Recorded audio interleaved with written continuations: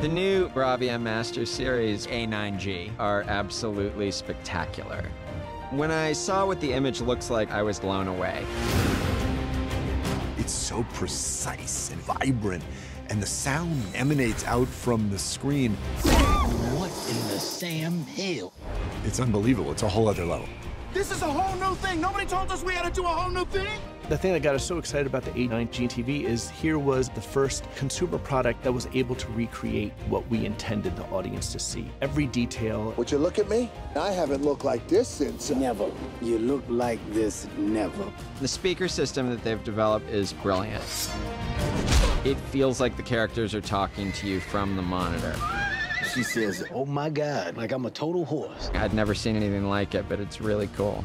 But then on top of it, you're looking at the colors, unbelievable shadow detail, unbelievable blacks. You work on these things for a long time, trying to get it to look just right and sound just right. And most televisions out there don't approximate what we're trying to put out to the world, and this TV really does. It's exciting that technology has found that vision and can deliver on it if everybody could see that, that would be mind blowing.